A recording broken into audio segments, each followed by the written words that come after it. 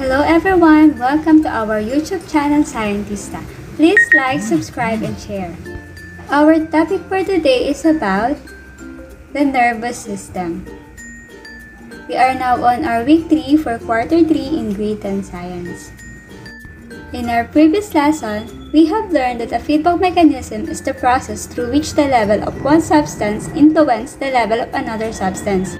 We have also discussed that the menstrual cycle includes a menstrual phase, follicular phase, ovulation, and a luteal phase.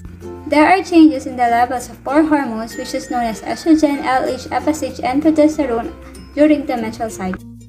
For today's lesson, we are going to focus on the homeostasis and the feedback mechanisms. The following are our objectives for today.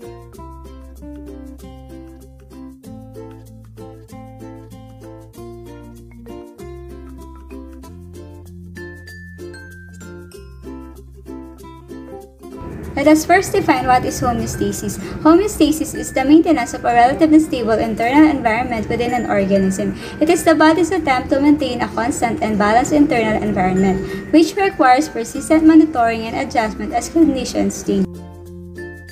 There are three main components of homeostasis. We have the receptor, the control center, and last we have the effector.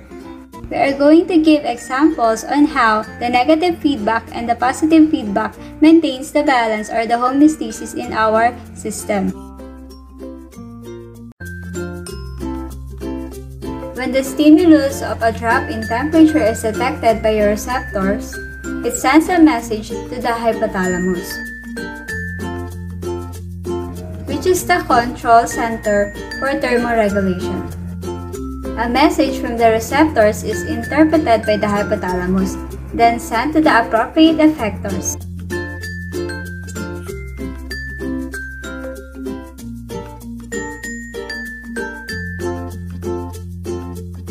Effectors include erector muscles in your skin and muscle tissue in arterioles. The posterior hypothalamus tells the erector muscles to contract, giving you goosebumps and raises hair. It reduces heat loss and basically traps a layer of warm heat above your skin. Furthermore, arterioles are told to constrict, decreasing blood flow to the skin, resulting in the retention of heat. It's also known as vasoconstriction. On the other hand, when the temperature gets too high, effectors include sweat glands and muscle tissue in arterioles or blood vessels. The anterior hypothalamus tells the sweat glands to secrete sweat, which cools the body down by evaporative cooling.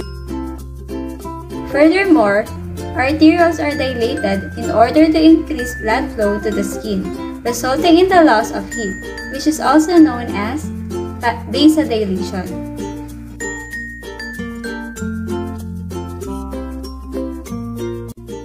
Another example of a negative feedback mechanism is the blood glucose regulation. The blood glucose level is from 70 to 100 milligrams per dl.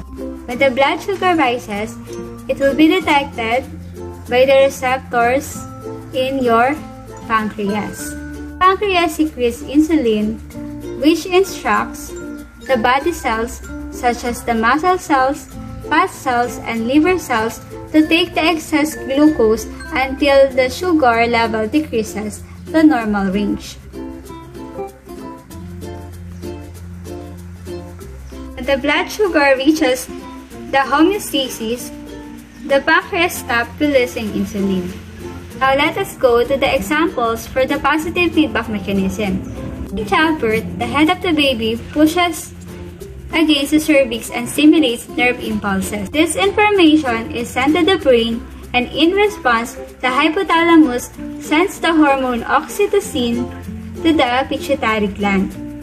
Oxytocin is carried into the bloodstream to the uterus where it induces the uterine contractions. The contractions which push the baby against the cervix stimulates the release of the more oxytocin, which results in stronger contraction. This process stops when the baby is born.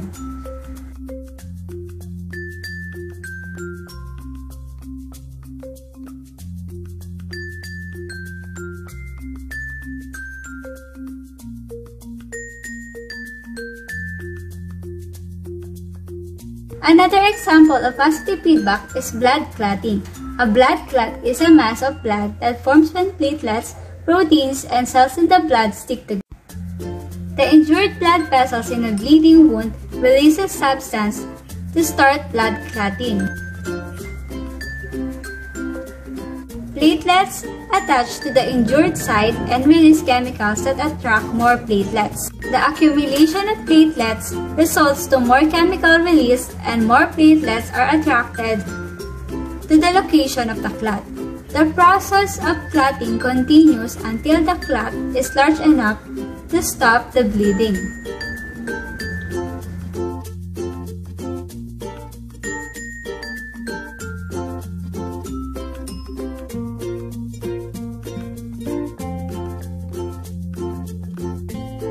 Now let us identify the feedback mechanisms involved in the following situations.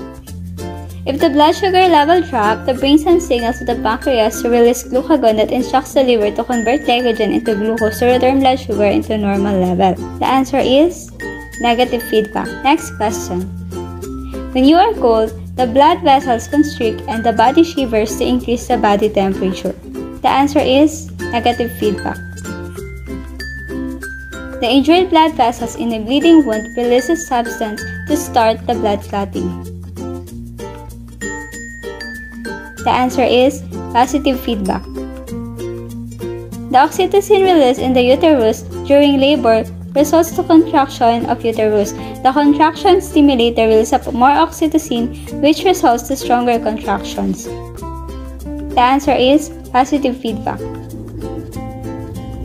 The hypothalamus produces gonadotropin-releasing hormone. The GnRH signals the pituitary to produce follicle-stimulating hormone, which stimulates the ovaries to produce estrogen. High levels of estrogen prevent the production of GnRH and causes the pituitary to make less FSH. Answer is negative feedback.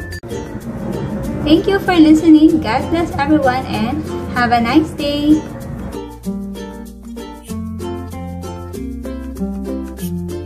These are the following references.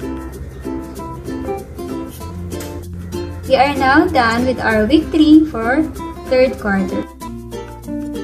Please don't forget to like, subscribe, and share.